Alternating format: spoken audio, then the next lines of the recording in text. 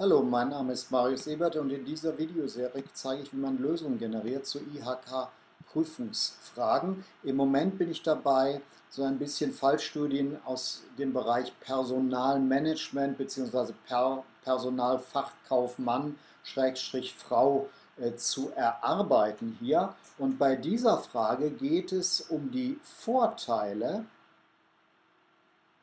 einer Systematik systematischen Personalplanung. Ja, nennen oder erläutern heißt es dann, sie die Vorteile einer systematischen Personalplanung. Ehe wir das nun tun, machen wir uns erstmal klar, was heißt denn überhaupt systematisch? Systematisch heißt schriftlich. Schriftlich heißt durchdacht. Schriftlich und durchdacht heißt mit den Größen Zeit und Kosten versehen. Ja, systematisch heißt auch verständlich. Verständlich und abgestimmt. Wenn man etwas systematisch macht, dann stimmt man das natürlich ab mit den Menschen, die es machen sollen. Und das ist nie nur einer allein, sondern da sind mehrere, die sich abstimmen müssen. Also das bedeutet systematisch immer, ja, egal ob es um Personalplanung geht oder um sonst irgendetwas, systematisch über schriftlich durchdacht, Zeit und Kosten sind bedacht, verständlich abgestimmt. Systematisch heißt letztlich Checklisten. Ja, wenn man das dann operationalisiert, das heißt in vernünftige Handlungen übersetzt, heißt das Checklisten. Ja, das heißt systematisch. So, jetzt kommt das nächste. Was heißt denn Planung und Plan? Nehmen wir das mal. Was sind denn die Vorteile eines Plans? Gehen wir da mal so ran. Ja, lassen wir das mal hier mit Personal mal völlig weg. Wir lassen mal die Inhalte mal völlig weg. Wir fragen uns mal ganz, stellen uns mal ganz dumm und fragen uns, was sind die Vorteile eines Plans? Sie kennen vielleicht den Spruch, if you fail to plan, you plan to fail. Also, wenn du versagst beim Planen, planst du das Versagen. If you fail to plan, You plan to fail. Also, wenn wir nicht planen, planen wir das Versagen. Das heißt, wenn wir planen, was haben wir als Vorteil? Wir reduzieren Fehlentscheidungen.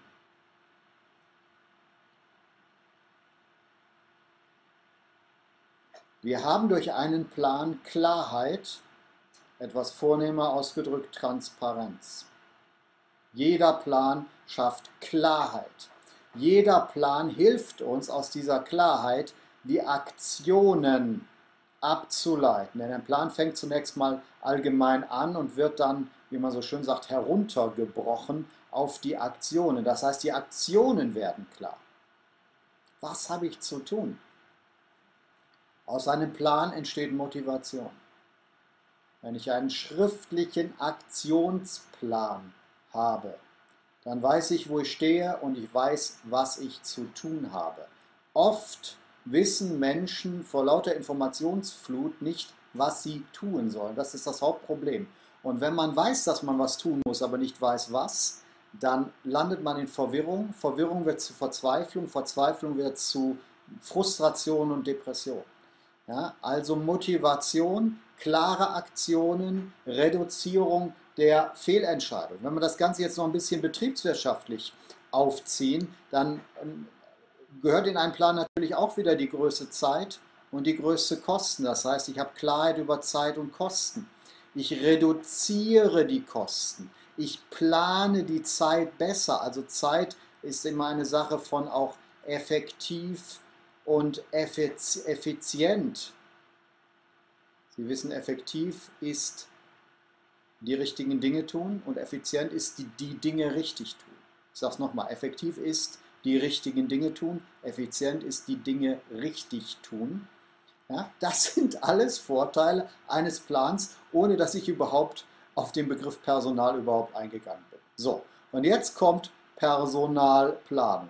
Was sind die Vorteile einer systematischen Personalplanung? Nun, ich würde mal sagen, Reduzierung der Fehlentscheidungen, Ich würde mal sagen, die Aktionen werden klarer. Ich würde mal sagen, Transparenz und Motivation für die Mitarbeiter. Ja, das heißt keine Unsicherheit. Personalplanung bedeutet ja auch, wer wird eingestellt, intern, extern, keine Spekulationen mehr, kein Mobbing mehr. Ja, jetzt beziehe ich das noch so ein bisschen mehr ähm, auf diesen Punkt. Also diesen Punkt übernehme ich, Reduzierung der Fehlentscheidungen.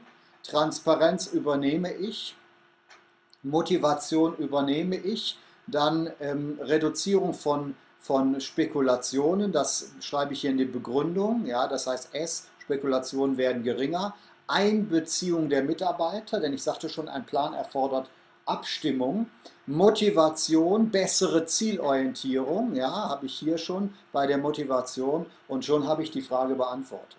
Ja. Ich bin also mit einem Wort einen Schritt zurückgegangen. Statt in die Inhalte einzusteigen, gehe ich einen Schritt zurück und schaue auf die Strukturen.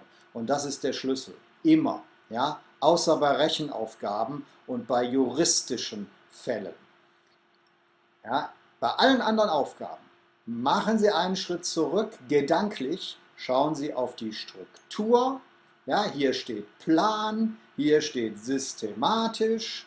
Ja, und nicht so sehr Personalplanung, was soll ich denn jetzt da hinschreiben? Oh, da weiß ich jetzt aber nichts, Hilfe, Hilfe, Hilfe, sondern gehen Sie gedanklich einen Schritt zurück.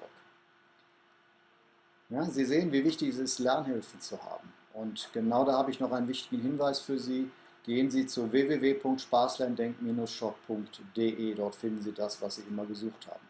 Mein Name ist Marius Ebert. Vielen Dank.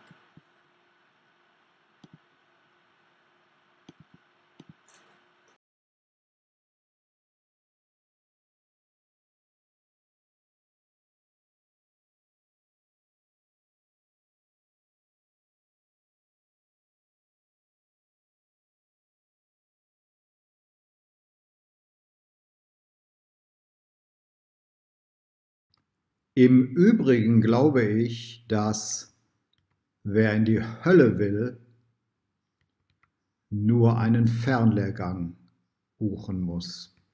Wollen Sie hingegen lernen, ohne zu leiden, dann klicken Sie mal auf den Link unter diesem Video. Alles Gute, Marius Ebert.